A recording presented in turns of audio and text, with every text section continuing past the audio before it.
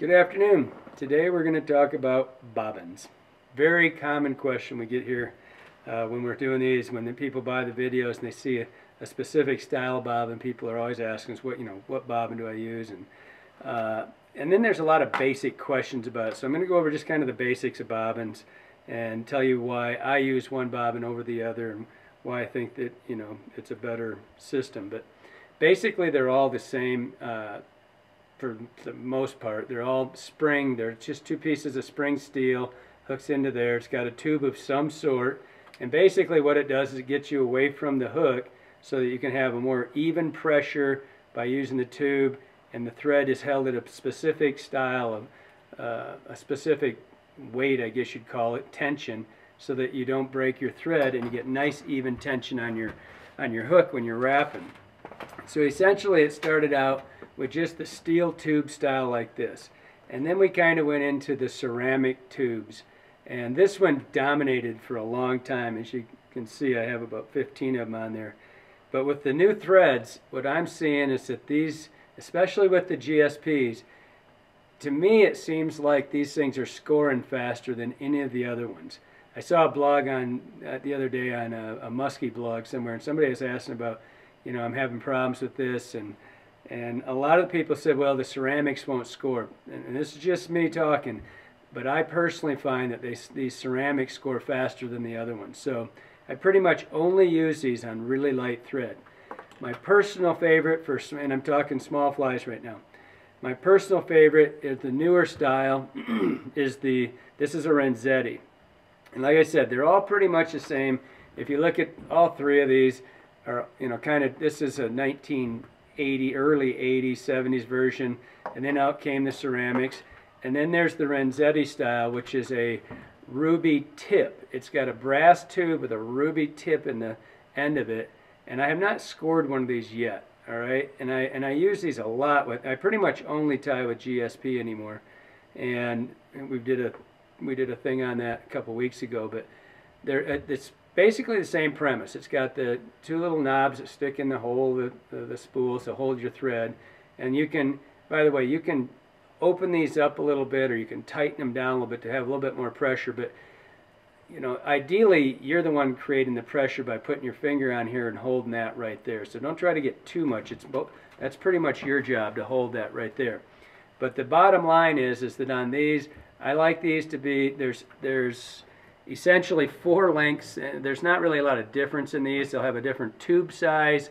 They'll have a different tube length. Some people like you know, uh, th there are many there's many preferences to bobbins as there are flies. It's just you know what you get used to, what you like, but there'll be different lengths of tubes. There'll be different diameters of tubes, but for the most part, that's the only difference. And so this is a this just a, a standard uh, midge tube, I think is what it's called, ruby tip. And this is my personal favorite one. And again, they come in about four or five sizes. I like these with the light thread. And again, if you're using nylon, it's not a big deal. If you get into the GSPs and the heavier thread, the thinner yet stronger threads, the only disadvantage to this style is if you're using, say, even 50 GSP, which is one of the, the finest, you can pull these and you can actually pull so hard that you separate these and they pop out. And so your thread goes, you know, rolling off on the floor. And so I, I tend to use these only on my smaller flies. So, but it's usually the ruby tip. I mean, that's the one that I've pretty much gravitated to in the last four or five years. And then I put, this is already on here, uh, this is GSP thread 100. And what I've got here are the Rite Mag bobbins. This one's customized. It's got very cool eyes on it. That's so Johnny doesn't touch it. No one can touch that bobbin. And I used these bobbins. This is a Rite bobbin right here. And if you've seen any of my videos, uh, any of the any of my streamer uh, videos, you know that I'm using a Rite bobbin in every one of them. And again, kind of there's some constants. This one's got uh, standard shorty, half hitch, mag, and ceramic. That's the five. They're still all the same. You can go right down to the little shorty like this. It's the same rear end, but it's just different length tubes and different diameter that you're, you're holding in your hand. As you can see, a much different, much beefier tube here. This is designed to use really heavy thread. So what this one's for is when you're tying with bigger streamers. And now on this one, I personally use just the standard hardened steel. I have not had one of these things score my thread yet. I've probably been tying with these for, I don't know, eight, ten years at least. The only thing that I can see with these things that's different, that really is an advantage for you, is the fact that this doesn't come apart. You can't spring it. Like I was saying with these, if you pull on this thread too hard, you can actually twist these and pop that out. Physically impossible with these. You can't, it, obviously, it's got a screw tension here, and that's the other positive to these, is that you set that tension. It's set just like a drag on a spinning reel. So you've got tension on that constantly, and then you, the only difference now you've got is the distance on the tube length. And personally, uh, on the bigger flies, I like to step it up just a little bit. You can see the difference is about a half inch on the tube length, three quarters on some of them. I personally like that when I'm using a big fly, big hair flies, like you know something where I've got a lot of materials flopping around in there. I like to be able to get away from it a little bit. But the big thing with these is, is I got, it's nice and, it fits in my hand well, and I can pull on these things, I mean, infinitely. You can pull this hook right out of here.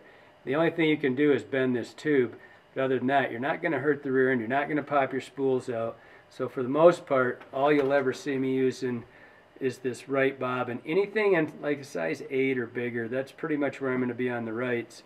And I'm using that uh, predominantly because I can't spring it. On these, I can spring these, on these lighter wire ones, I can spring those. And you can step that up, but you can still have the chance of springing them. On this one, no possible way. There's another option on those called the half hitch option. And what that is, is the end of it is tapered down so you can do a half hitch with your thread and put it over the hook and slide it over. I don't do that personally, so it's not a big option for me, but it's out there. So bottom line is, uh, usually we're going to use, for me personally, I'm going to use the ruby tip midge size, you know, like this, for anything on my dry fly nymphs and stuff like that. As soon as I step into the real bugs, the big stuff, I'm going to go to a Rite Mag bobbin.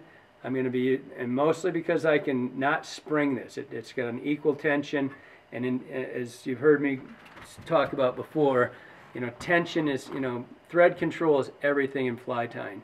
So you should be able to sit here and do this for an hour and use that whole spool up and never change the distance right there. And I still get control over it with my hand, but I've got a nice even tension right here on the thread, and I don't have to sit and mess with it. This is, a, in, in, my opinion, this is the best bobbin in the, in the business when it comes to tying streamers. Hope that helps you out. Thanks.